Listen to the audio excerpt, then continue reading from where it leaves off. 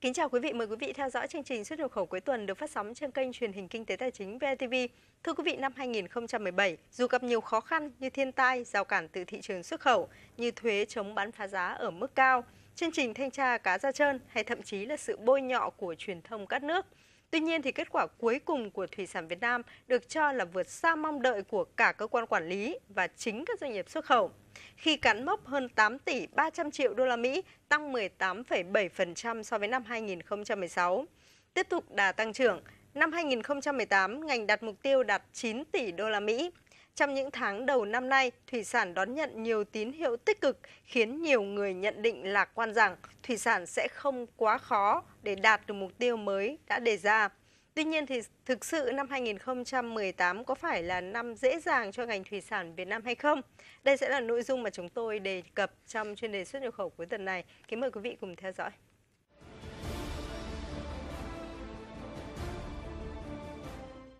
Kết thúc năm 2017, ngành thủy sản đạt mục tiêu 8,3 tỷ đô la Mỹ, tăng 18,7% so với năm 2016. Đây là mức tăng trưởng vượt bậc của toàn ngành trong bối cảnh nhiều khó khăn từ các rào cản kỹ thuật, thương mại tại các thị trường chủ lực. Trước kết quả khả quan như vậy, đầu năm 2018, ngành thủy sản đặt mục tiêu đạt kim ngạch xuất khẩu 9 tỷ đô la Mỹ, tăng 5,3% đến 5,8% so với năm 2017 còn số này nhằm đạt mục tiêu xuất khẩu toàn ngành nông nghiệp theo chỉ đạo của Thủ tướng Chính phủ là 40 tỷ đô la Mỹ. Theo đó, tôm và cá tra sẽ tiếp tục là hai nhóm sản phẩm chính cần hết sức quan tâm để đảm bảo đạt mục tiêu xuất khẩu toàn ngành đặt ra cho năm nay. Vâng thưa quý vị, 9 tỷ đô la Mỹ là con số không nhỏ. Tuy nhiên những ngày đầu năm 2018, ngành thủy sản đã đón nhận nhiều tín hiệu tích cực. Điều này mang lại nhiều hy vọng trong việc bứt phá cho toàn ngành Nội dung cụ thể mời quý vị cùng theo dõi phóng sự ngay sau đây.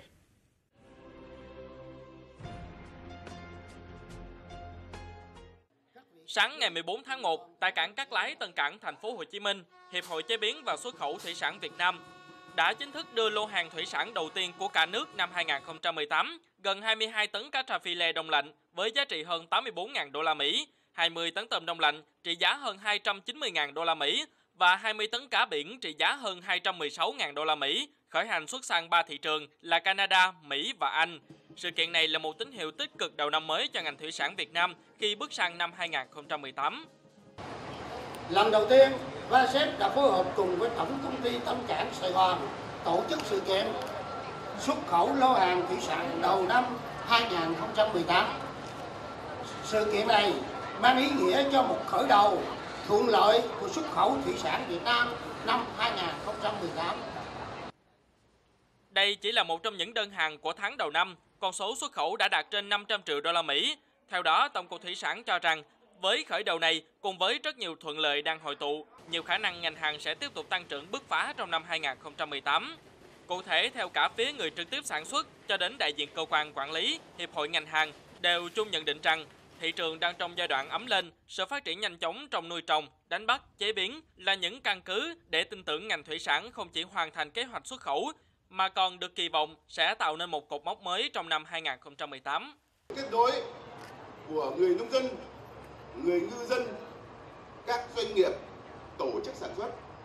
với hiệp hội chế biến xuất khẩu sự vào cuộc hôm nay của các đồng chí lãnh đạo các địa phương trong vùng tôi tin tưởng mục tiêu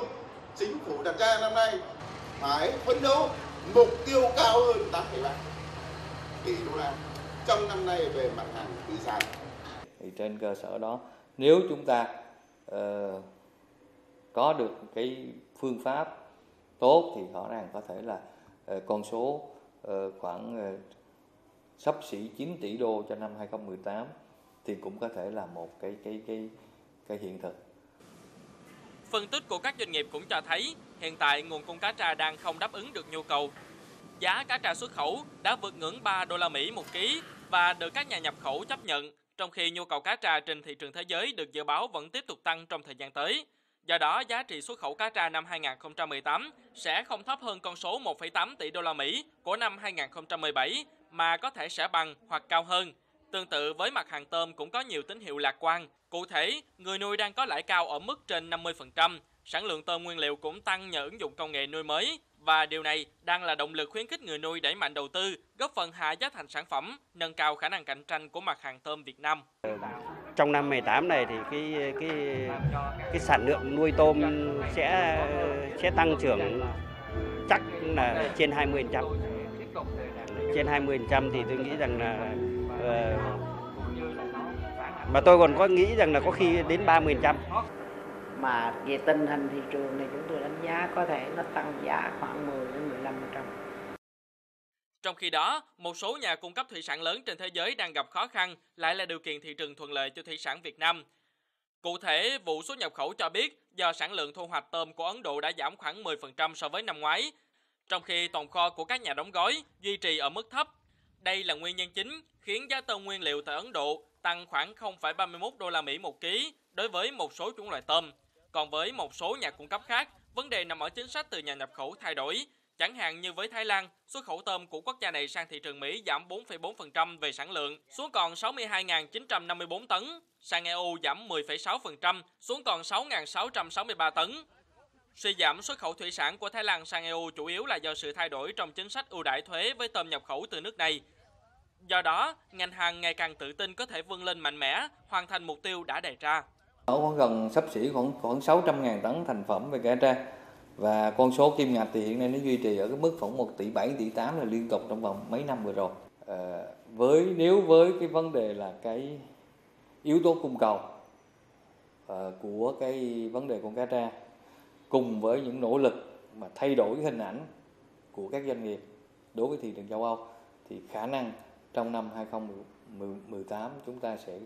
có thể là lấy lại cái niềm tin đối với thị trường châu Âu và sẽ tiếp tục là trở thành một cái thị trường lớn về vấn đề tiêu thụ cá tra trong tương lai.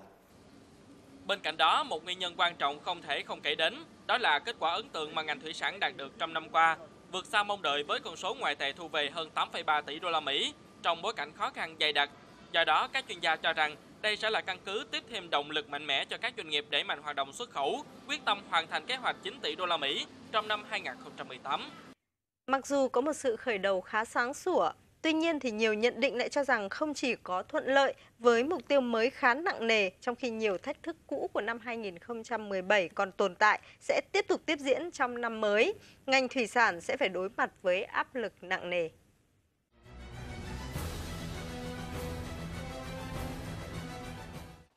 Nếu như theo quy luật thông thường, vào thời gian trước và sau Tết âm lịch khoảng 2 tháng, nhu cầu tiêu thụ cá tra của thế giới tăng khá cao là điều kiện thuận lợi cho các doanh nghiệp tăng sản lượng và giá trị xuất khẩu. Thì năm nay, theo chia sẻ của bà Nguyễn Thị Ánh, giám đốc công ty thủy hải sản Ngọc Xuân, quy luật này đã không còn là niềm vui bởi diễn biến thời tiết trong bối cảnh biến đổi khí hậu tiếp tục khó lường và khốc liệt, nên việc thả nuôi gặp nhiều bất lợi, khiến năng suất, sản lượng không đủ đáp ứng nhu cầu của thị trường. Nhưng mà mấy cái đám mưa muộn đó, nó bị chết nhiều hao hụt lớn lắm. Thì ờ, theo tôi nhận định là cái năm 2018 á nguyên liệu vẫn còn thiếu.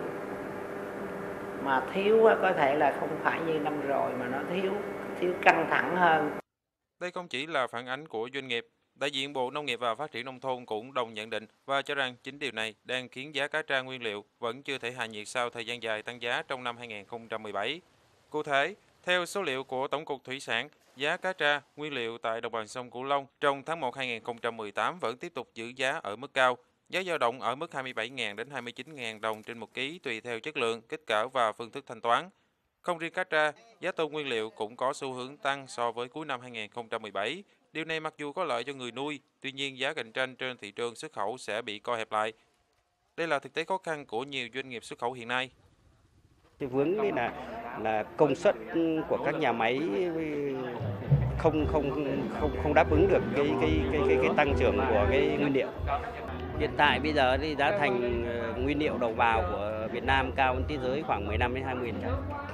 Cao hơn ví dụ như Ấn Độ, Indonesia thì là hai nước đó là là, là bây giờ nguyên giá nguyên liệu của nó đang thấp nhất là cao hơn khoảng 15 đến 20 trăm. Đó là chưa kể đến nhiều thị trường xuất khẩu lớn, điển hình như Mỹ,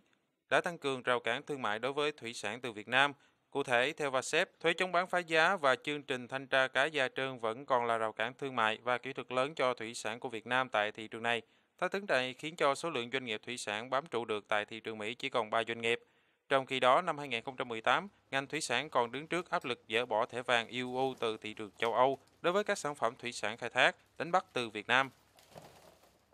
Như chương trình thanh tra cá da trơn ở tại Hoa Kỳ, nếu giả sử như nó không đạt được công nhận tương đương thì coi như chúng ta mất khoảng ờ, sắp xỉ ba bốn trăm triệu đô về vấn đề xuất khẩu cá tra vào thị trường Hoa Kỳ. Hoặc là thí dụ như vấn đề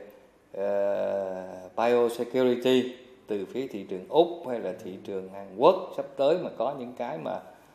uh, nó biến động quá lớn thì cũng có thể là chúng ta sẽ mất một cái số lượng cũng không phải là nhỏ về doanh số đối với một số cái thị trường. Thiên tai khốc liệt cùng với đó là tính khốc liệt của thị trường thế giới rất nhiều rào cản, rất nhiều thách thức, rất nhiều cạnh tranh không chỉ vậy, những vấn đề từ chính khâu nuôi, chế biến như dư lượng kháng sinh, tạp chất trong sản phẩm hay an toàn vệ sinh thực phẩm theo tiêu chuẩn của thị trường xuất khẩu là những tồn tại của nội bộ ngành thủy sản và vẫn sẽ tiếp tục là rào cản lớn cho sự tăng trưởng của ngành trong năm 2018. Do đó, các chuyên gia cho rằng mặc dù được kỳ vọng lớn nhưng áp lực mà thủy sản Việt Nam đối mặt sẽ không hề nhỏ và không thể chủ quan.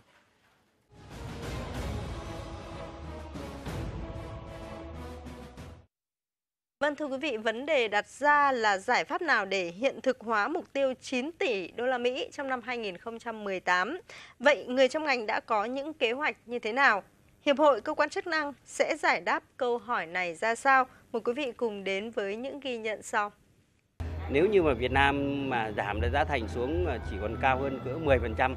thì thị phần của Việt Nam sẽ mở rộng rất là nhiều. Ờ, thì Minh Phú là doanh nghiệp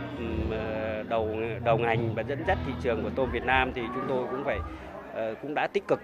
coi như là giải quyết cái bài toán mà thiếu lao động này bằng tự động hóa và robot hóa thì chúng tôi cũng đã làm trong năm 17 rất là tích cực. Cho nên là tôi nghĩ rằng là trong vài năm nữa thì vấn đề này sẽ giải quyết được. Thì vấn đề lao động mà giải quyết được vấn đề thiếu lao động thì cái tăng trưởng của cái ngành tôm Việt Nam sẽ sẽ sẽ rất tốt. Thì hướng mà để đầu tư phát triển thì chúng tôi cũng cố gắng làm sao để đảm bảo cái vùng nuôi mình đủ cái nguyên liệu và cái trong nhà máy thì phải tập trung cái vấn đề cái nâng cao cái quản lý về chất lượng để làm sao cho cái hàng hóa mình ra thị trường được cái giá cao. Và với cái quyết tâm từ phía các doanh nghiệp kết hợp với việc là ờ, Việt Nam cũng đã có cái nghị định ờ, về riêng về cá tra, rồi vấn đề quy chuẩn về sản phẩm cá tra, thì rõ ràng là sẽ tạo ra một cái cái cái cái mặt bằng lại tạo lại một cái mặt bằng đối với sản phẩm cá tra đi vào châu Âu và như vậy sẽ giúp cho cái thị trường châu Âu sẽ khôi phục lại. Và trong năm 2018 sẽ tăng cường thêm vào vấn đề là thị trường Hàn Quốc thông qua cái việc là uh, tổ chức các cái hoạt động quảng bá và các cái vấn đề liên quan đến